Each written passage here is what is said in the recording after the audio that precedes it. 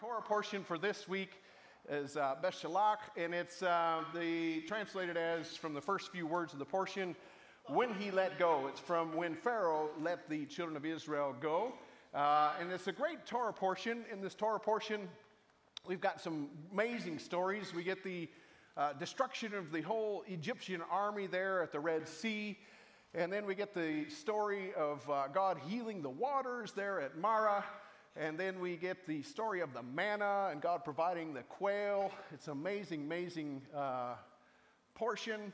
We get the story of uh, the Meribah and Massa issue, and then we get the destruction of the Amalekites, Amalekites. And so it's a, a wonderful Torah portion. And there's one uh, theme that runs through the portion, and that is of trusting God. And so uh, there's an opening scripture here in our Torah portion from Exodus chapter 14 in verse 31, it says, When Israel saw the great work that Adonai did over the Egyptians, the people feared Adonai and they believed Adonai and believed in his servant Moshe, Moses. This is uh, uh, the opening there, and it's right after the highlights. They've just seen the Egyptian army destroyed in the Red Sea.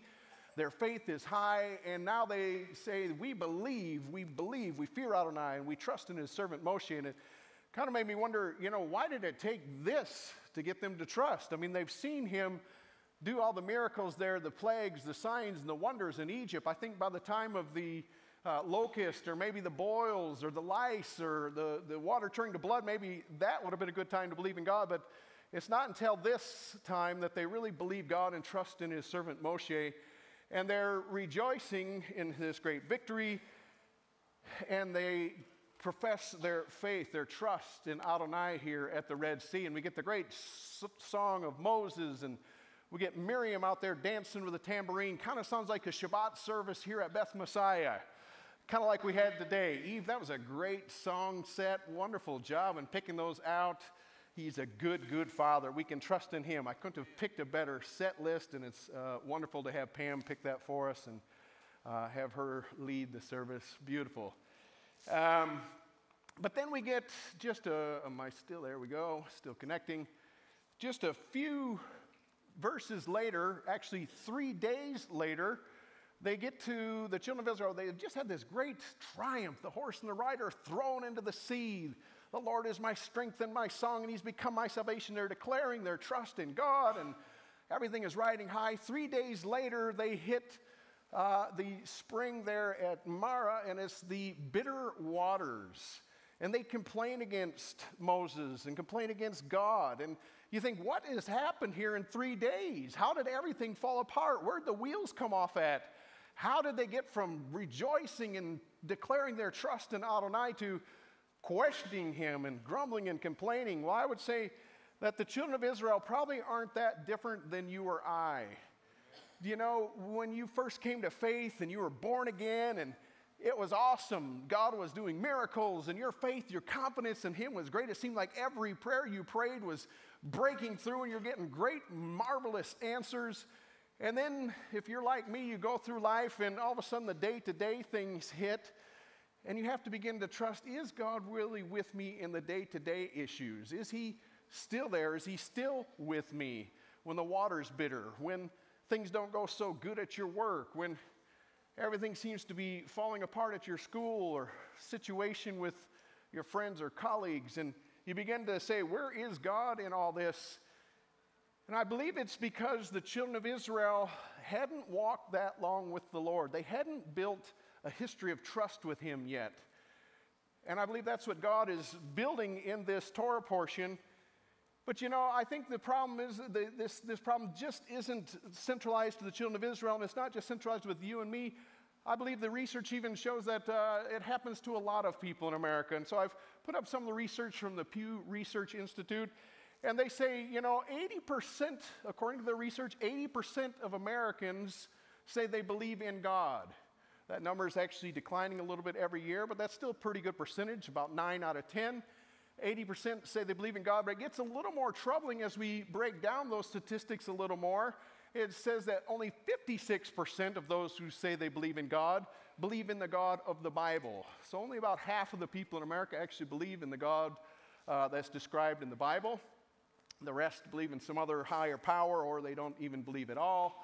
Uh, and so when we break down the numbers a little bit, we find that there's a large people that say they believe in the concept of God or they believe in God, but when we narrow it down a little bit, it's a little smaller who actually believe in the God of the Bible and what He says. And then when the statistics get broken down a little bit further, um, we see that amongst Christians, 80% say they believe uh, in the God that's described in the Bible, and there's about 20% that don't believe in the God of the Bible. I don't know quite how that works, how you can be a Christian and not believe in the God of the Bible. But uh, there it is. The statistics, uh, uh you know, have a small margin of error, but this is how it was reported. It's even a little more concerning amongst the Jewish population. Only 33% of the Jewish population says that they believe in the God of the Bible. My glasses are a little bit uh, dim. I think it's 56% say that they believe in some other higher power, and about 20% uh, don't believe in God or aren't really sure. Uh, so these are, numbers are concerning for us. It tells us there's this general belief in God, but not necessarily a trust in the God of the Bible the other numbers about the religious nuns, the people that are unconnected to anything and they just believe anything and everything. So, you know, they're not stuck to any book. They believe whatever. They, they, they come up with their own God. I think those folks do. I'm not quite sure about those guys. They just believe in some higher power out there. The universe told me. Well, bless God, the universe is, magis- is amazing and it's wonderful, but the God that created the universe is even much better than the universe. So uh, I'd rather not be with those religious nuns. It has nothing to do with Catholic nuns. It's, people that believe in nothing, nuns. There we go. Uh, moving right along, so we see as we break this down, in the US, about half the adults believe God determines what happens to them most or all the time. We see that, the percentages there at the bottom. 27% believe that God controls the things that happen to them all the time, 21% most of the time, some of the time, hardly ever, never, and then 10, I don't think they believe in anything. But it's concerning because uh, about 48% say they believe that God has something to do, but only 27% really believe that God's in control all the time. So now we went from 80% all the way down to only 27% of the people that actually believe that God, they have trust that God is controlling what's going on in their lives. And so I would I'd say that the Americans aren't really that much different than the children of Israel. This is of those who believe God or a higher power. 77% believe that God's protected them. 76%, uh, 67% believe that God has rewarded them or the higher power has rewarded them. 61% believe that God or the higher power will judge all people on what they've done. And then 40% believe that he's punished them. Apparently, punishment's not very popular. Reward is 77%, punishment's only 40% we kind of like that idea of God being this Santa Claus in the sky that just gives out goodies and gifts and he's all loving, all kind. God forbid he would say punish or anything like that. Only 40% believe in that kind of God. So when we see when you break down the numbers, there's this great trust in God, the big God. But when it really comes down to his operation in our lives, there's not that much confidence or trust in who He is or His direction in our lives. I'm checking to see if notes have come back. It looks like not. So here we go. Let's keep flying. We doing okay so far? Amen. All right. So let's keep moving. This issue of trust, I would say, is a major issue uh, because trust is one of the ways that God develops a relationship with us is through testing our trust. And we see this uh, in the scriptures. It says in James chapter 1 and verse 2 through 4 Consider all joy, my brethren, when you encounter various trials, knowing that the testing of your faith produces endurance. And let endurance have its perfect works, that you may be perfect and complete, lacking in nothing. So, the scripture from James tells us that we should consider it all joy when we go through trials because we know that the testing of our faith produces endurance and endurance uh, to have its perfect works that we may be perfect and everything lacking nothing. I don't think that it will be perfect and will not sin, is that our faith can be perfected, our trust can be perfected. And the way that God perfects our trust a lot of time is through trials. He's got different ways to perfect our trust, but trials is one of the main t- ways that he perfects our trust. And we see this from the scripture. So, therefore, I've named this message the trust test. The trust test, because it's a test that God gives to each of us to build our trust. As we go through life, there's different things that we'll encounter. And as we go through those things, God wants it to build our trust in Him. It says, uh, according to Job chapter 7 and 17 through 18, it says, What is mankind that you magnify him, that you set your heart on him, that you visit him every morning and test him every moment? According to Job, each day we're going through a test. Each day, God tests us. Each day is an opportunity to either pass the test or fail the test. But unfortunately, most of us flunk the test because we don't even realize we're taking a test and we don't even realize God has given us the test. So we, we're off the, we're, we've already failed before we even started. We mess up and blow it because we fail to see God's hand in it. Now, I'm not saying everything that happens in our life necessarily uh, God is the author of it, that, that, all the bad things that happen to us uh, come to us, God is the author.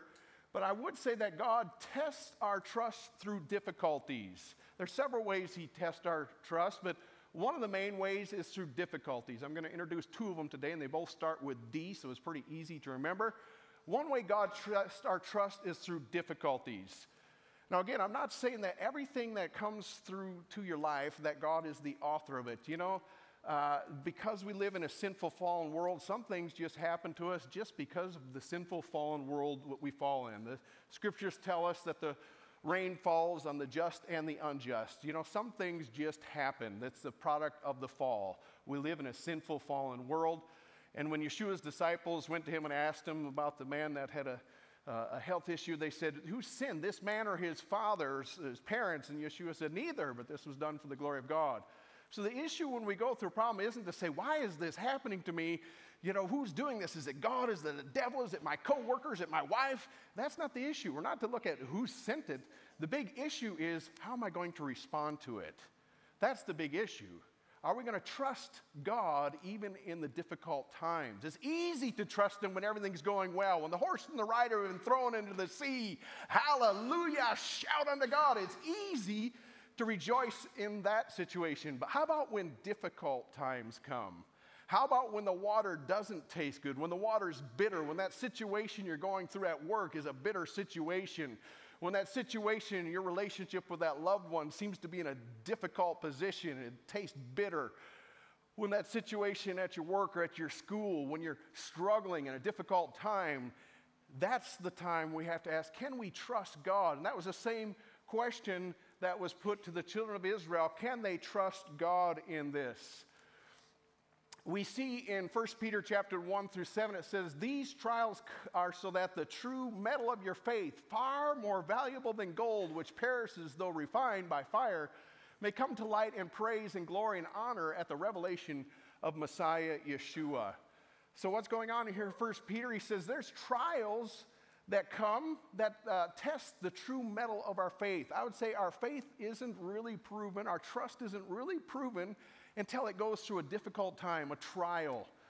And though it, uh, it's, it's refined, it's far more valuable than gold. Gold and silver have to be put into the fire to let the heat come upon it so that all the dross comes to the surface. Those who work, the goldsmith or the silversmith that work with metals, they heat it to a point to where it breaks down. And then when it breaks down, it releases all those impurities that are in the metal and they can take and skim that off. And it's been said that a silversmith can tell the quality of the silver when he can see his image reflected in the silver. I believe it's the same way in our lives. God is looking to see if his image can be reflected in our lives.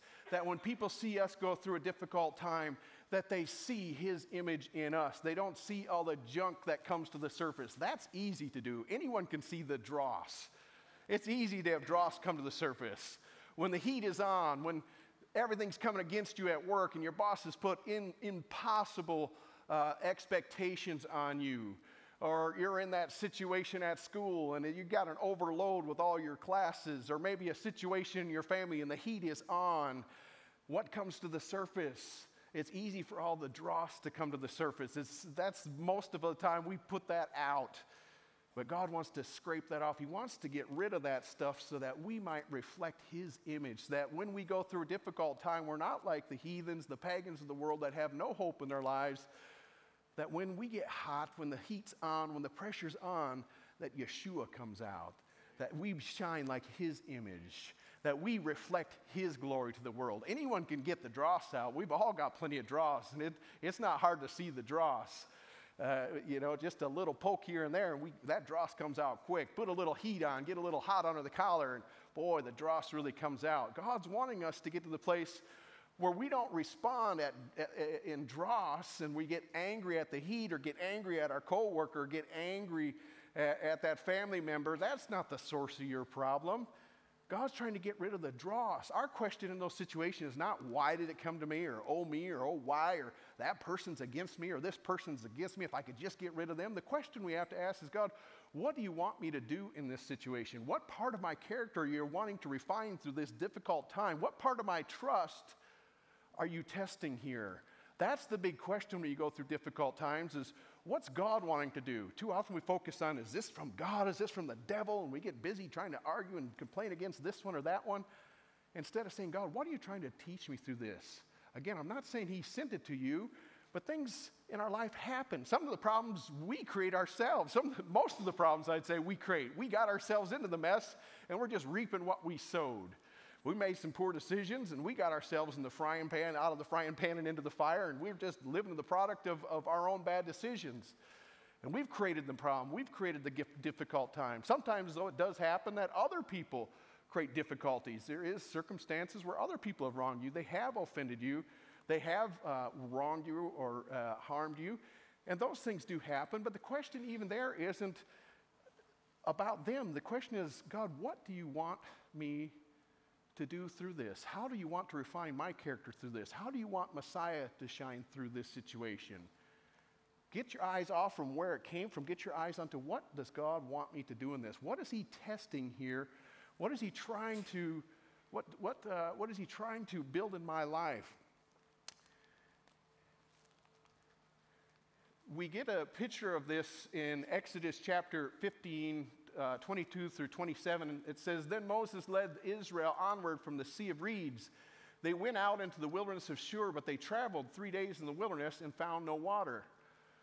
When they came to Marah, they could not drink the waters because they were bitter. On account of this, it was called Marah. So the people complained to Moses, saying, What are we going to drink? So he cried out to Adonai, and Adonai showed him a tree. And when he threw it into the waters, they were made sweet. There he made a statute and an ordinance for them, and there he tested them. He said, If you diligently listen to the voice of Adonai your God and do what is right in his eyes, pay attention to his, his mitzvot and keep his decrees, I'll put none of the diseases on which I have put on the Egyptians on you, for I am Adonai who heals you. Then they came to Elim, and there there were 12 springs of water and 70 palm trees, so they camped there by the waters. Now the question would be there's Elim, why didn't God just bring them to Elim? There's beautiful 12 springs there, plenty of water. There's lots of nice shade. There are date palms. There's probably some food there. Why didn't God just bring them to Elim? Wouldn't that have been the best way? In our book, probably we say, man, bring us to Elim. That's the Hilton. You know, that is golden and a oasis there in the desert. Why didn't God just bring them there? Why do you have to bring them to Marah where the waters are bitter? Well, there's a purpose in it. God's trying to show them as He healed the water so He could heal them. But you know, if we get our eyes off and focus on the circumstances, we get all bitter and angry at God and say, Why'd you bring me to this bitter spring? Why did you give me that boss? God forbid, why did you give me that spouse? why did you give me that family member? Oh, they just are bitter. And, and we get bitter. But if we'll let God do what He wants to do through the circumstance and we'll get rid of the bitterness and say, God, what are you wanting me to learn through this circumstance? What are you trying to refine in my life?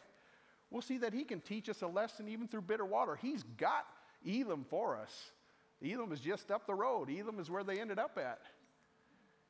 They camped by the waters and they had this beautiful, spacious 12 springs, plenty of water to drink, plenty of shade. God's got Elim for us, but He's first got to teach us. He's first got to teach us to trust Him. That's why He gives us the trust test so that we can trust Him. There's things that He's wanting to show us. No matter what the circumstance is, we can find God in that circumstance. We can find Yeshua, that He is there with us. He's our ever present help in time of need. He will be there and meet us if we'll have a humble heart and say, Lord, what do you want to do in me? What part of my trust are you perfecting in this? How are you wanting to refine me? Instead of getting our eyes on the circumstances or getting our eyes on other people, we say, Lord, what are you wanting to do with me? There's another lesson that the way that God uh, tests us, and I say that He tests our trust through His demands. Remember, the first D was difficult times. The second way He tests our trust is through difficult demands. What are demands? Demands are things that He puts in His scriptures that sometimes are challenging for us. According to Jewish reckoning that came from uh, Maimonides, according to his tradition, there's 613 commands in the Torah. But I've got interesting news for you. There's actually 1,050 commands in the Brit Hadashah. Wow! You talk about ratcheting things up. People want to be Torah observant. Let's start out with being Brit Hadashah observant. Love your neighbor as yourself. Be holy as I am holy. Turn your other cheek. Care for those who persecute you. There's 1,050 just in the Brit Hadashah. And even if we categorize them and we put them together under headings, there's still 800. Wow, that's a lot to do. I say people that want to be Torah observant start with the second half of the book. There's a lot of things there that deal with the other with our heart. A lot of things that have to do with how we treat one another. Love one another as I have loved you. Forgive one another as I have forgiven you. Man, 1,050 commandments in the Brit Hadashah. And God tests our trust through His demands. The thing is, sometimes we find a demand that uh, sounds unreasonable or unrealistic, and we tend to doubt God on it. Look at Exodus 16 and verse 4. It says, Then Adonai said to Moses, Behold, I will rain down bread from heaven from you the people go out and gather it a day's portion every day so that I can test them to find out whether or not they'll walk according to my Torah or not. This is where God gives the children of Israel manna from heaven, and He tells them, you know, go out each day and just gather a day's portion for yourself. Those of us who like to multitask, we would say, well, Lord, how come we can't just, you know, maybe collect enough for the week? I'm going out anyways. Let me get my shopping done for the whole week. You know, it's better on time and resources, it saves gas. It's a lot better way to go. You know what? We can kill two birds with one stone. Let me just get enough for the rest of the week. You know, maybe I'll be sick tomorrow. It's better that I get some today. Who knows what happens? I could trip over a rock and get bit by a snake. I better get enough for today and tomorrow and maybe the next few days. You know what? Let me stock up for the whole month. I won't have to go to the supermarket again for the whole month. But God says, no, just get enough for one day. What's the issue of one day? God wants us to know that each day He's going to be there for us. He provides our needs day after day.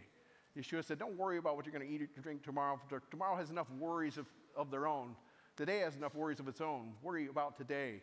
God's wanting to show us that His provision is there for each day. And so it's a lesson that they're supposed to learn according to uh, his word. He's testing them to find out whether they'll trust him or not, that they'll trust that tomorrow there'll be provision there, that there'll be enough tomorrow, that they don't have to hoard it all up, worrying about lack for tomorrow. Do you realize that is what hoarding is? It's a lack of trust that God will provide for tomorrow. Ooh, I got to clean my garage out. he wants us to trust him day by day, daily bread for us. And That's the lesson he's giving them there. He's giving them the trust test. Will you trust me in this? Will you trust that I will actually provide your needs each day? Unfortunately, see from Scripture, they didn't do too well at this. They didn't trust him in it. They failed miserably the trust test, and some of them went out and gathered enough for two days, and what happened? It got all rotty and spoiled. It got maggots in it. Ooh, some nasty stuff. That's worse than the stuff in the back of the refrigerator. That, ooh. But the most amazing thing is on Shabbat, they could go get two portions, a double portion on Friday. What amazing, amazing thing. That God made it so on Friday you could get two portions and it would carry over so that you didn't have to work on Shabbat. You know, He's got a way of making provision for you that you can get enough in six days that you don't have to work that seventh day. That's awesome. But it's a way of testing our hearts. I've had people tell me, well, brother, I just can't afford not to work on Shabbat. Well, I'll leave that between you and the Lord, but God says that He is giving us enough, that there's a enough portion that He can multiply our provision, that there's enough on of His provision to carry you through the Shabbat. But they test Him in this too, and some of them go out on Shabbat, even after they've been told, they fail the test miserably. They fail the trust test miserably because they still go out on Shabbat and there's no manna there. But how many of us have been like that? We hear God's commandment and we find some way to get around it. We find some way to say, well, that doesn't really apply to me, or, you know, that was 2,000 years ago, or, you know, that just doesn't work here in America. That only worked over there in Israel, or, you know, God doesn't still do that. This is the 2000s. We, we have internet now and credit cards. And one area that God really tests us in this is in our finance. He says, you know, if you'll put me first in your finance, if, you, if you'll do the 10%, see once if I won't bless you in the 90. We're not that different than the children of Israel. How many times do we doubt God and find ways around it and say, well, no, that doesn't really apply to me, or that, you know, that, that, that was for then, or this is for that. And we find ways to get around and we fail the trust test. God is asking us to trust Him in His demands. Some of them are put there just to see if we'll actually obey it, if we'll actually follow it, and trust Him that He has it. Finance is one of the biggest areas He tests on this. Will we trust Him in our finances? Will we trust that He can really multiply the 90 and take care of our needs?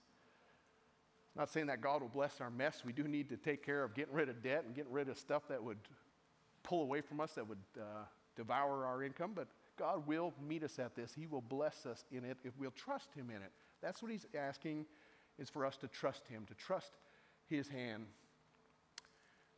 We read there in Exodus 17, verse 37, it says, The people thirst for water there, and they complained against Moses, and Why have you brought us out of Egypt to kill us with thirst, along with our children and cattle?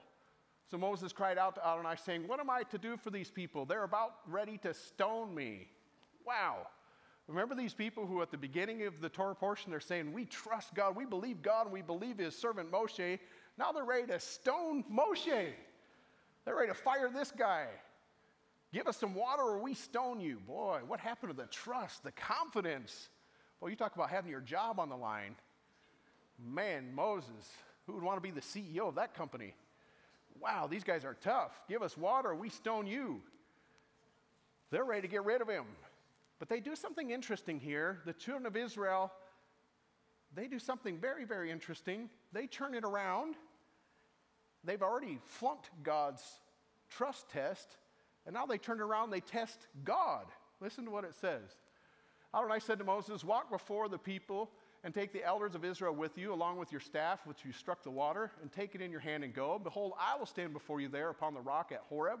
Wow, interesting side note. Who, who, who was that standing on the rock?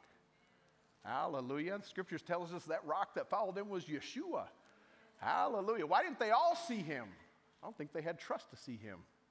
Anyways, moving along to another sermon for another time. There he is, Yeshua providing water from the rock. You're to strike the rock. Incident, oh, I can't help it. Can I take a rabbit trail? Remember one time he's told to strike the rock once? Another time he's told to speak to the rock? Just a theory, but Yeshua is only struck once. He was, died once. If the rock is a picture of Yeshua, the next time we speak to him, we don't strike him. Yeshua struck him twice little rabbi theory, but it's a picture of Yeshua who was struck, who died for the sins of the world. Moshe hit the rock twice. He didn't honor God before the children of Israel, and God dealt with him because it was a picture of Yeshua. Yeshua was struck once, he wasn't to be struck twice. He died once for the sins of all. Okay, only a rabbi theory, but moving right along. Who's on this rock at Horeb? Yeshua, possibly. He's standing before them. He says, You strike the rock, and the water will come out from it so that the people can drink. Then Moses did just uh, so in the eyes of the elders of the people. And the name of that place is called Massa and Meribah because the quarrying of Israel and because they tested Adonai, saying, Is Adonai with us or not? You see what they've done? They failed the test so miserably, now they switch gears and now they test God. That's a common thing to do. If we can test the tester, we can get out of the test. I don't know if you've got the validity to test me. I, you know, are you really God? Are you really among us or not? They flipped the thing around. Now they're testing God, and God's not happy with them about it because what they're doing is getting themselves out from under God's authority. They're getting themselves out from under that trust test. They've already failed it miserably, and so they just change the script around. Now they're testing God and say, Is he really among us or not? If he doesn't give us water, well, then maybe he's not God. And therefore, we don't even have to obey him. Let's get rid of Moshe. Let's get a new leader. Let's, we can do our own thing. If you get rid of the test giver, you can get out of the test. And that's what they do. They turn the script, they test God. And God's not very happy with them. Look at what it's recorded in Psalm 95, verse 6 through 11 about this. It says, Come, let us worship and bow down. Let us kneel before Adonai, our Maker. The psalmist has given us this picture. We can trust in Adonai. He is our Maker. Let's worship Him. He's created us. And it goes on, it says, For He is our God, and we are the people of His pasture, the sheep of His flock, of His hand. Today, if you hear His voice, what's the psalmist saying? We can trust God. He's like a shepherd. He's taking care of us. He's going to lead us beside the still waters. He's going to restore our souls unto us. He's going to lead us into green pastures. We can trust His leading in our life. We can trust Him. The psalmist is asking us to look at Him as a good shepherd that really cares about us, that cares about our lives. I would say the good shepherd still cares for all of us. He's got a great destiny. He's got a great plan for our lives. He's got a promised land for each of us. He's just asking us to trust Him to trust Him in the day to day things, to trust Him when the times are difficult, to trust Him when His demands seem unreasonable. He's wanting to show us Himself strong on our behalf, but He's wanting us to pass the trust test, to put our confidence in Him. The verse goes on, it says, Do not harden your heart as at Meribah or in the days of Massah in the wilderness. God is wanting us to have a soft heart before Him, a heart that will trust Him, that will trust that when times are difficult that he's holding us in the palm of his hand to trust that when we can't see how things are going to work out that he's got us to have a soft heart a tender heart not to have a heart of bitterness a t- heart of resentment or anger a heart that's against those around us thinking that they're the cause of our problems. He's wanting us to have a soft heart a tender heart trusting him and not to harden our hearts. When your fathers tested me they challenged me even though they had seen his work. Can you imagine the chutzpah of the children of Israel to say, Is God really among us? He's already wiped out the, the uh, he's already brought the, the, the, plagues. He's already wiped out the Egyptian army. He's uh, given them manna. He's given them quail. He's, he's changed the water, the bitter water to sweet water. He's brought them to Elim with the 70 springs. God's done all this for them, and yet they have the question, the, the chutzpah to question, is God really among us? They turn the script and they begin testing and challenging God. And God, God's not happy with it. He's not pleased with it because they're getting themselves out from under the trust test and now they're trusting God. They're testing God. They've changed the script. God is asking us to be like those who will trust Him and not test Him. That when tests and trials come in our lives, that we'll have confidence that He is leading us into green pastures, that He is a good shepherd, you know, one of the people that I believe has passed the trust test very well is Pam Carney. I've seen her walk through a very, very difficult time, but I've seen her writings. I've read everything she's posted, and I've seen a woman that has walked through extremely difficult times, but her confidence in her God has been strong all the way through. She's given great glory to her God. Even when she didn't know what it was all about, she knew who her God was and what he was all about. Pam, thank you for being a living witness and passing the trust test and giving us all confidence in our great God and our great King. Amen. And it goes on, for 40 years I loathed that generation. I said, This is a people whose heart goes astray, who do not know my ways. God is wanting us to learn his ways, but we're not going to learn our ways when everything's his ways, when everything's comfortable. When we're at Elim and the, set, the springs are there and the the uh, palm trees are there and everything's light and easy and everything's good. We learn His ways in difficult times, in times of testing, in demands that seem unreasonable. That's when we learn His ways. That's when He shows Himself mighty on our behalf. That's when He becomes our ever present help in time of need. If you're going through a difficult time today or if you're struggling with His demands, I encourage you to grab hold of God, to trust His work in your life to trust that He has good plans for you, to trust that even though you might not see the purpose behind it, you can trust Him. It's been said that uh, disappointments are God's appointments, that God meets us at those places, that God meets us in our difficult times, that God meets us when his demands seem unrealistic. That's when he has an opportunity to show himself strong on our behalf. That's when he builds trust. Trust is not built in the easy times, trust is built in the difficult times. When it seems like everything's falling apart, we hold on to him. We have a history, we have a record of his hand. We can trust him and know his ways. Then he goes on and says, Therefore I swear in my anger, they shall never enter my rest. God is wanting to bring us into a place of rest. He's wanting to bring us into a place of trust. He wants all of us to be like little children who say, Abba, I don't understand it all, but I do trust you. It doesn't always make sense to me, but I know that you hold the future. I've got confidence that you are leading and guiding me, that you are bringing me into green pastures, that you are leading me beside still waters, that I can trust in you as we get ready to close here, I'd encourage you to ask God to help you pass the trust test.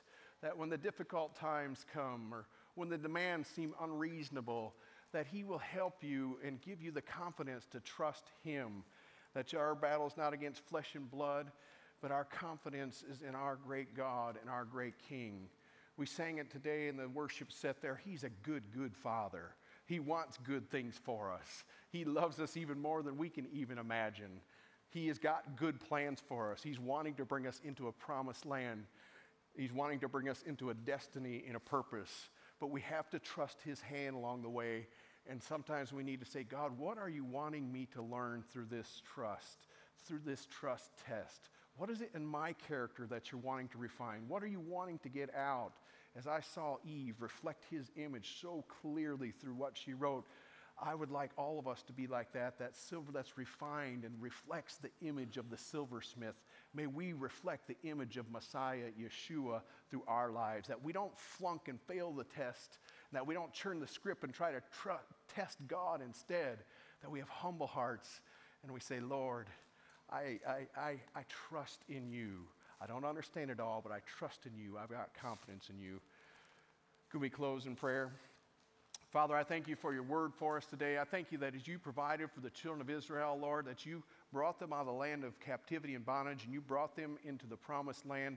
Lord, that you've got promised land for each of us. You've got a purpose, a destiny for each of us. Lord, as we go on that journey from uh, slavery in Egypt and bondage to sin to the promised land that you have for us, give us the strength to pass the trust test, that we can trust in you, that our confidence is in you, and may we reflect your image. When we go through difficult times, when we have difficult demands, may we shine brightly. May we reflect the image of Messiah Yeshua. I ask this in the name of Yeshua Messiah. Amen. Amen.